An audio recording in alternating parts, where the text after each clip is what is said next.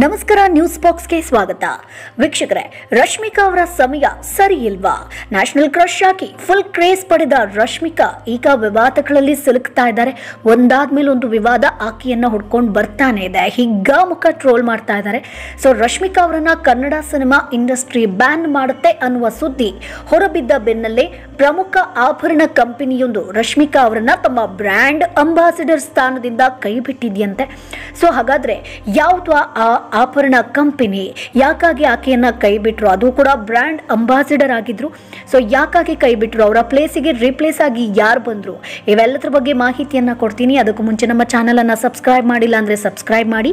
ವಿಡಿಯೋವನ್ನು ಕೊನೆ ತನಕ ನೋಡಿ ನಿಮ್ಗೆ ಏನನ್ಸುತ್ತೆ ಅದನ್ನು ಕಮೆಂಟ್ ಬಾಕ್ಸ್ ಮೂಲಕ ತಿಳಿಸಿ. ಸೊ ವೀಕ್ಷಕರೇ ಸ್ಯಾಂಡಲ್ವುಡ್ ಚೆಲುವೆ ರಶ್ಮಿಕಾ ಮಂದಣ್ಣ ಪುಷ್ಪಾ ಚಿತ್ರದ ಮೂಲಕ ಇನ್ನಿಲ್ಲದ ಕ್ರೇಜ್ ಅನ್ನ ಪಡೆದುಕೊಂಡ್ರು.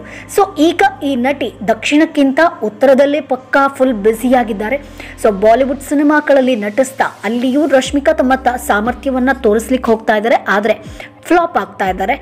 ಮಕಾಡೆ ಮಲಗ್ತಾ ಇದೆ, ಆಕೆ ನಟಿಸಿರುವಂತಹ ಚಿತ್ರ.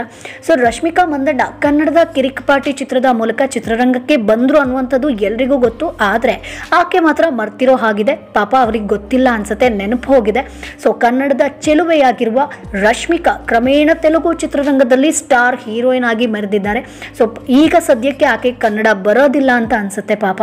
ಸೊ ಈಗ ಬಾಲಿವುಡ್ನಲ್ಲೂ ಖ್ಯಾತಿಯನ್ನು ಪಡೀಲಿಕ್ಕೆ ಟ್ರೈ ಮಾಡ್ತಾ ಇದ್ದಾರೆ. ಆದರೆ ಆಕೆ ನಡೆಸಿರುವಂಥ ಎಲ್ಲ ಚಿತ್ರಗಳು ಈಗ ರೀಸೆಂಟಾಗಿ ನಾವು ನೋಡೋದಾದ್ರೆ ಹಿಂದಿ ಸಿನಿಮಾದಲ್ಲೂ ಹಿಂದಿ ಗುಡ್ ಬೈ ಸಿನಿಮಾ ಕೂಡ ಮಕಾಡೆ ಮಲಗ್ತು. ಸೊ ಕಾಂತಾರ ವಿಚಾರದಲ್ಲಿ ರಶ್ಮಿಕಾ ಸಿಕ್ಕಾಪಟ್ಟೆ ಟ್ರೋಲ್ ಆದರು. ಸೊ ಕನ್ನಡ ಇಂಡಸ್ಟ್ರಿಯ ಇತ್ತೀಚಿನ ಬ್ಲಾಕ್ ಬಾಸ್ಟರ್ ಕಾಂತಾರವನ್ನು ನೀವು ನೋಡಿದ್ರ? ಸಿನಿಮಾದ ಯಶಸ್ಸಿನ ಬಗ್ಗೆ ನಿಮ್ಮ ಅಭಿಪ್ರಾಯ ಏನು ಅಂತ ಕೇಳಿದಾಗ ರಶ್ಮಿಕಾ ಮಂದಣ್ಣ ಅವರು ಕಾಂತಾರವನ್ನು ನಾನು ನಿಜವಾಗಿಯೂ ಇನ್ನೂ ನೋಡಿಲ್ಲ ಅಂತ ಹೇಳಿದರು. ಸೊ ಇದು ಸಿಕ್ಕಾಪಸ್ಟ್ ಜನರಿಗೆ ಕೋಪಕ್ಕೆ ಕಾರಣವಾಗಿತ್ತು. ಸೊ ತಮ್ಮ ಮೊದಲ ಸಿನಿಮಾ ಬಗ್ಗೆ ವ್ಯಂಗ್ಯ ಕೂಡ ಮಾಡಿದ್ರು ಒಂದು ಇಂಟರ್ವ್ಯೂದಲ್ಲಿ. ಇದು ಕೂಡ ಸಾಕಷ್ಟು ಚರ್ಚೆ ಗ್ರಾಸವಾಗಿತ್ತು. ಯಾಕಂದ್ರೆ ತಾನು ಬಂದಿರುವಂತ ದಾರಿಯ ಬಗ್ಗೆ ಹೇಳಲಿಕ್ಕೆ ಆಕೆಗೆ ಮುಜುಗರ ಆಗಿತ್ತು ಒಂದು ಯಾವುದೋ ಒಂದು ಪ್ರೊಡಕ್ಷನ್ ಹೌಸ್ ಅಂತ ಕೈ ಸನ್ನೆ ಮೂಲಕ ತೋರಿಸಿದ್ರು. ಸೊ ಅಲ್ಲಿಂದ ರಶ್ಮಿಕಾ ಮಂದಣ್ಣ ಆಕೆ, ರಶ್ಮಿಕಾ ಮಂದಣ್ಣಕ್ಕಿದ್ದ ಅಭಿಮಾನಿಗಳಿಗಿಂತ ಜಾಸ್ತಿ ಅವರ ಒಂದು ವಿರುದ್ಧ ಮಾತನಾಡುವವರ ಸಂಖ್ಯೆನೇ ಹೆಚ್ಚಾಯಿತು. ಕನ್ನಡ, ಕನ್ನಡದವ್ರು ಮಾತ್ರ ಆಕೆಯನ್ನ ಎಷ್ಟು ಸಾಧ್ಯನೋ ಅಷ್ಟು ಟ್ರೋಲ್ ಮಾಡ್ತಾ ಇದ್ರು, ಅಷ್ಟು ಕೋಪಗೊಂಡು, ಇನ್ನಿಲ್ಲದಂತೆ ವ್ಯಂಗ್ಯ ಆಡ್ಕೊಂಡು ಟ್ರೋಲ್ ಮಾಡಿದ್ದಾರೆ. ಸೊ ರಶ್ಮಿಕಾ ತನಗೆ ಮೊದಲ ಹಿಟ್ಟು ನೀಡಿದ ಇಂಡಸ್ಟ್ರಿಯನ್ನು ಅವಮಾನಿಸಿದ್ದಾರೆ ಅಂತ ಕನ್ನಡಿಗರು ಟ್ರೋಲ್ ಮೇಲೆ ಟ್ರೋಲ್ ಮಾಡ್ತಾ ಇದ್ದಾರೆ. ಸೊ ಈ ವಿವಾದಗಳಿಂದ ರಶ್ಮಿಕಾ ಮಂದಣ್ಣ ಈಗ ಸಂಕಷ್ಟಕ್ಕೆ ಸಿಲುಕಿದ್ದಾರೆ ವೀಕ್ಷಕರೇ. ಸೊ ಪ್ರಮುಖ ಆಭರಣ ಮಳಿಗೆಯೊಂದು ರಶ್ಮಿಕಾ ಅವರನ್ನು ತಮ್ಮ ಬ್ರ್ಯಾಂಡ್ ಅಂಬಾಸಿಡರ್ ಆಗಿ ನೇಮಿಸಿಕೊಂಡಿತ್ತು.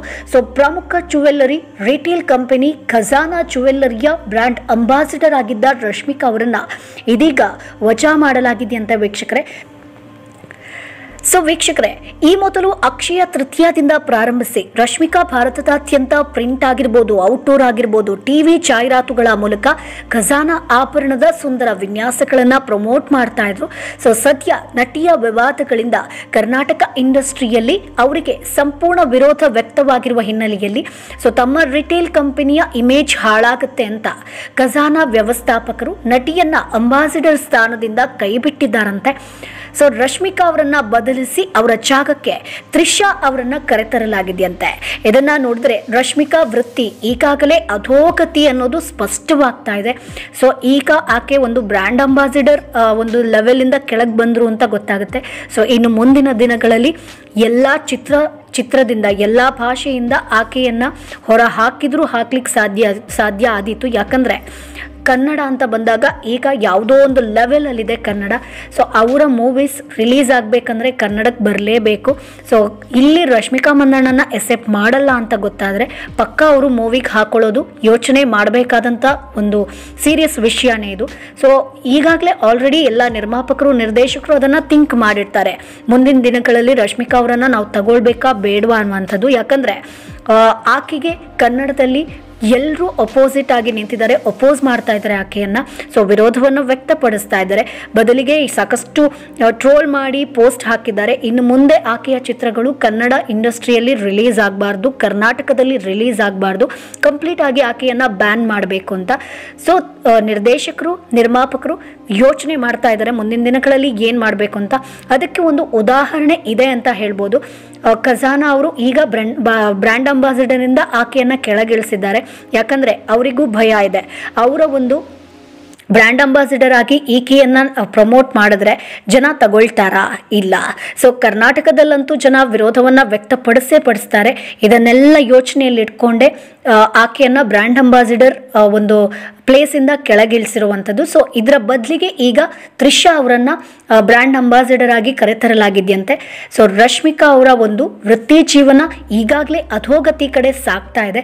ಸೊ ಇತ್ತೀಚೆಗಷ್ಟೇ ನ್ಯಾಷನಲ್ ಕ್ರಶ್ ಅವರು ರಶ್ಮಿಕಾ ಬದಲಿಗೆ ತ್ರಿಷಾ ಅವರನ್ನು ನೇಮಿಸ್ತಿರೋದಾಗಿ ಅಧಿಕೃತವಾಗಿ ಸ್ಪಷ್ಟಪಡಿಸಿದ್ದಾರೆ.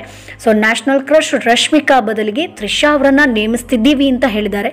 ಸೊ ಕೆಲವು ಅನಿವಾರ್ಯ ಕಾರಣಗಳಿಂದ ರಶ್ಮಿಕಾ ಬದಲಿಗೆ ತ್ರಿಷಾ ಅವರನ್ನ ಬ್ರ್ಯಾಂಡ್ ಅಂಬಾಸಿಡರ್ ಮಾಡ್ತಿದ್ದೇವೆ ಅಂತ ಜ್ಯುವೆಲರಿ ಅಧ್ಯಕ್ಷ ಕಿಶೋರ್ ಕುಮಾರ್ ಜೈನ್ ಹೇಳಿದಾರಂತೆ. ಸೊ ಅದ- ಅದೇ ಅದೇನಿರಲಿ ತ್ರಿಷಾ ಅವ್ರ ತ್ರಿಷಾ ಈ ಅವಕಾಶವನ್ನು ತಮ್ಮದಾಗಿಸ್ಕೊಂಡಿರೋದು ಅವರ ಕೆರಿಯರ್ಗೆ ಪ್ಲಸ್ ಪಾಯಿಂಟ್ ಸೊ ಅವ್ರು ಬೆಳೆದ್ರು ಏನೂ ತಪ್ಪಿಲ್ಲ.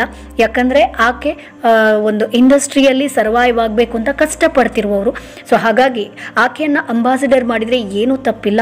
ಸದ್ಯಕ್ಕೆ ಒಂದು ಉದಾಹರಣೆಯಾಗಿ ನಾವು ಇದನ್ನೇ ತಗೊಳ್ಬೋದು. ರಶ್ಮಿಕಾ ಅವರ ಒಂದು ಪ್ಲೇಸ್ ಈಗ ಯಾವ ರೀತಿಯಾಗಿದೆ? ರಶ್ಮಿಕಾ ಅವರ ಜೀವನ ಯಾವ, ಯಾವ್ದ್ರಿ, ಯಾವ ರೀತಿಯಾಗಿ ಆಗ್ತಾ ಇದೆ ಅನ್ನುವಂಥದ್ದು ಮುಂದಿನ ದಿನಗಳಲ್ಲಿ ಒಂದೊಂದಾಗಿ ಆಕೆಗೆ ಗೊತ್ತಾಗ್ತಾ ಹೋಗುತ್ತೆ. ಆಕೆ ಮಾಡಿರುವಂಥ ತಪ್ಪು ಏನು ಅನ್ನುವಂಥದ್ದು ಅದಕ್ಕಿಂತ ಮೊದಲು ಸಾರಿ ಕೇಳ್ತಾರ? ಮಾಧ್ಯಮದ ಮುಂದೆ ಬಂದು ರಿಷಬ್ ಶೆಟ್ಟಿಗಾಗಿರ್ಬೋದು, ರಕ್ಷಿತ್ ಶೆಟ್ಟಿಗಾಗಿರ್ಬೋದು ಅಥವಾ ಕನ್ನಡದ ಜನತೆಗೆ ಸಾರಿ ಕೇಳ್ತಾರಾ ಅನ್ನುವಂಥದ್ದು ಈಗಿರುವಂಥ ಪ್ರಶ್ನೆ. ಯಾಕಂದರೆ ಕಾಲ ಇನ್ನೂ ಮಿಂಚಿಲ್ಲ. ಕನ್ನಡದವರ ಮನಸ್ಸು, ದೊಡ್ಡ ಮನಸ್ಸು ವಿಶಾಲ ಹೃದಯ ಸೊ ಆಕೆ ಮಾಡಿರುವಂಥ ತಪ್ಪಿಗೋಸ್ಕರ ಕ್ಷಮೆ ಕೇಳಿದ್ರೆ ಕನ್ನಡಿಗರು ಕ್ಷಮಿಸಿ ಯಾರು? ಯಾಕಂದರೆ ಕನ್ನಡಿಗರ ಮನಸ್ಸು ನಾನು ಆಗಲೇ ಹೇಳಿದೆ, ವಿಶಾಲ ಹೃದಯ ಅಂತ ಅಂತ ಒಳ್ಳೆ ಮನಸ್ಸಿರೋರು. ಸೊ ಅವರ ಒಂದು ತಪ್ಪು ಗೊತ್ತಾಗಬೇಕಂದ್ರೆ ಇಂಥದ್ದೆಲ್ಲ ಆಗಲೇಬೇಕು. ಸೊ ಮುಂದಿನ ದಿನಗಳಲ್ಲಿ ಏನಾಗುತ್ತೆ ನಾವು ಕಾದು ನೋಡಬೇಕು. ನಿಮ್ಗೆ ಏನನ್ಸುತ್ತೆ ರಶ್ಮಿಕಾ ಅವರು ಕ್ಷಮೆ ಕೇಳಬೇಕಾ? ಯಾಕಂದರೆ ಈಗಾಗಲೇ ಒಂದು ಉದಾಹರಣೆ ಆಕೆಯ ಕಣ್ಣು ಮುಂದೆ ಬಂದಿದೆ. ಬ್ರ್ಯಾಂಡ್ ಅಂಬಾಸಿಡರಿಂದ ಆಕೆಯನ್ನು ಕೆಳಗಿಳಿಸಿದ್ದಾರೆ. ಸೊ ಸಾಕಷ್ಟು ಕಡೆಗಳಲ್ಲಿ ಆಕೆ ಆ್ಯಡ್ ಮೂಲಕ ಇರ್ತಾನೆ, ಇರ್ತಾರೆ.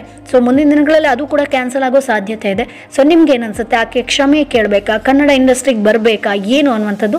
ಅದನ್ನು ಕಮೆಂಟ್ ಬಾಕ್ಸ್ ಮೂಲಕ ತಿಳಿಸಿ ನಮ್ಮ ಚಾನಲನ್ನು ಸಬ್ಸ್ಕ್ರೈಬ್ ಮಾಡಿ ಸಪೋರ್ಟ್ ಮಾಡಿ.